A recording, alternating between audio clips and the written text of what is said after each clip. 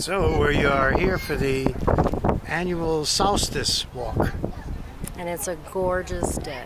And because it's during the week, this is the people on the solstice walk. Yeah. So see if you could just picture you on today.